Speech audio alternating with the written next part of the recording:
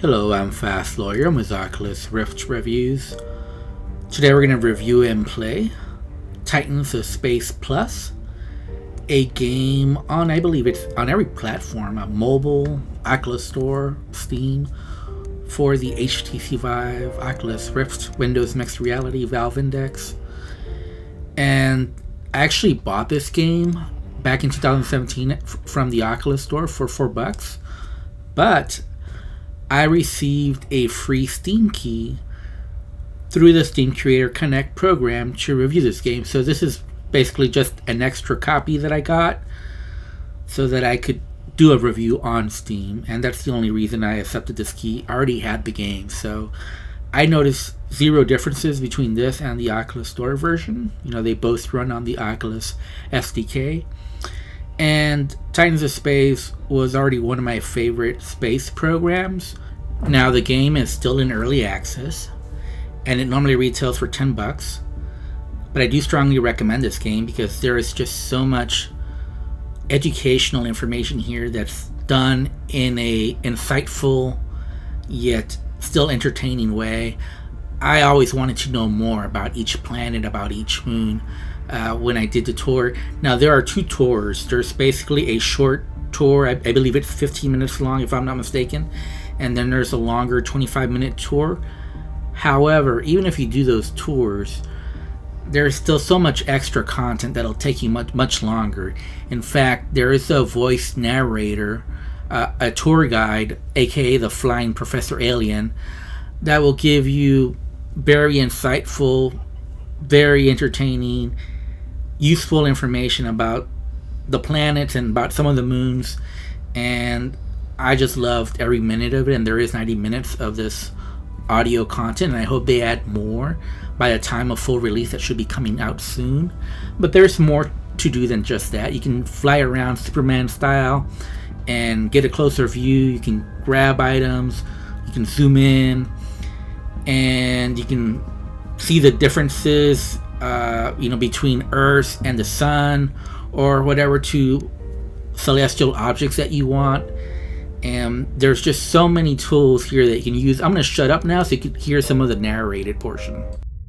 So here we have Ceres. This is the first dwarf planet that we'll visit on our journey. And it is the largest asteroid in our solar system. Ceres is named for the Roman goddess of agriculture, and most of its surface features have names that are derived from the themes of harvests, fertile lands, and gods and spirits relating to such things. The symbol for Ceres looks like a scythe, like the kind you would use to cut your fields.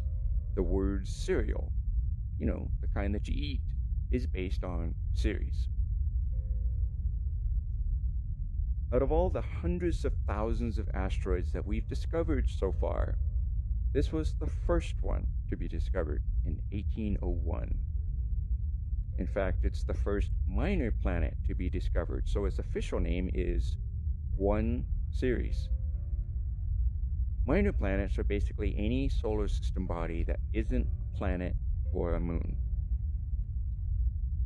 And then this is the only asteroid to be classified as a dwarf planet because it is the only one to be in hydrostatic equilibrium, which simply means that it's massive enough to be able to pull itself into a roughly spherical shape. So, for a very good long time, the only picture we had of Ceres was a blurry one, put together by the Hubble Space Telescope in orbit around Earth which revealed a small ball with a very curious bright spot. And then finally, very recently, we were able to explore Ceres up close from 2015 through 2018 when the NASA spacecraft named Dawn approached and entered orbit.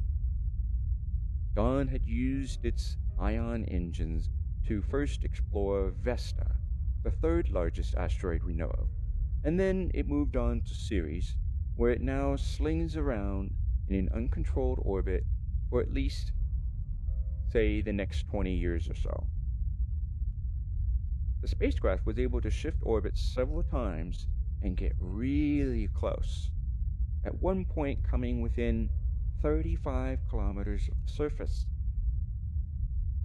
So it is no wonder that we now have stunningly gorgeous photos of Ceres with about 1,000 times better resolution than what Hubble was able to capture. And now we have great shots of those bright spots, which can be found in the floor of Occator crater right here. So, what are those bright spots then? Well, unfortunately, they are not alien city lights, as many were hoping. After some study of the massive amount of data collected from the Dawn mission, researchers have determined that the bright material is made of sodium carbonate. In other words, washing soda or soda crystals. We already use this stuff on Earth to make glass, paper, washing detergent, and so on. It's basically salt plus limestone. And several lines of evidence point to a very recent episode of cryovolcanisms in a low density region below this crater, pushing the material up onto the surface. And so now that bright spot in the center of the crater is named Cerealia Facula.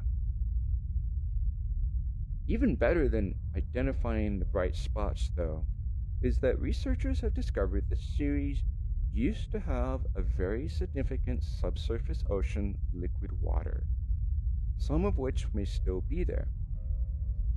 By now, though, most of that water is now either frozen solid or locked up in the surface crust as ice, clays, and hydrated minerals.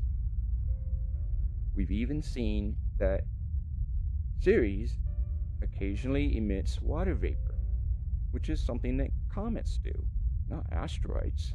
And so the line between comets and asteroids becomes a bit blurry.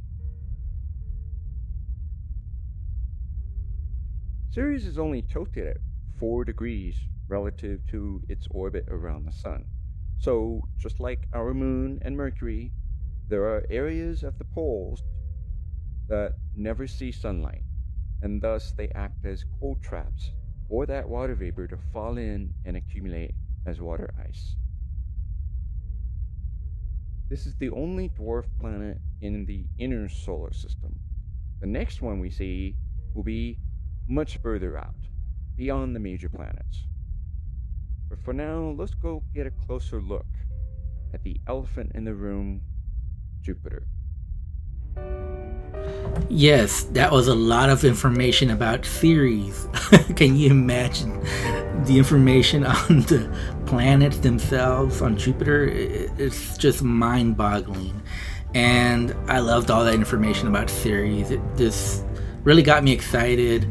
Hello there. Not just about this Ceres, but I'm talking about every planet where I just had to sit and listen to the narrative portion of every planet just because it was so entertaining and I loved it. I hope more is added because I'd love to know about other moons, other stars, you know, because there is not narrated portion for everything on the tour. And I would love to see at least some audio for, for everything on the tour, at least all the major stuff. Uh, but the planets and some of the moons do have the narrated portions. Uh, but there's more you can do. You could rotate and I show that a little bit later on.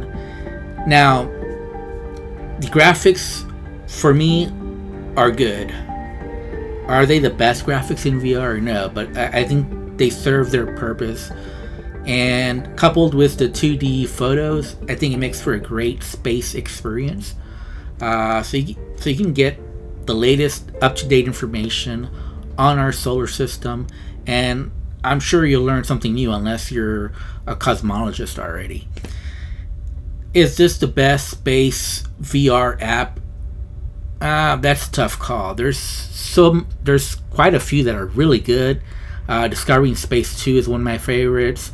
There's also Overview, Universe Sandbox, Space Engine. There's just so many good space VR apps. It's hard for me to pick a favorite all I can say is this one is definitely up there.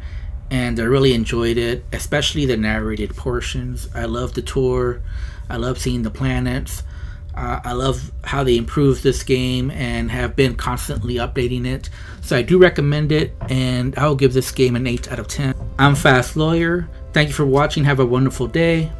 Goodbye.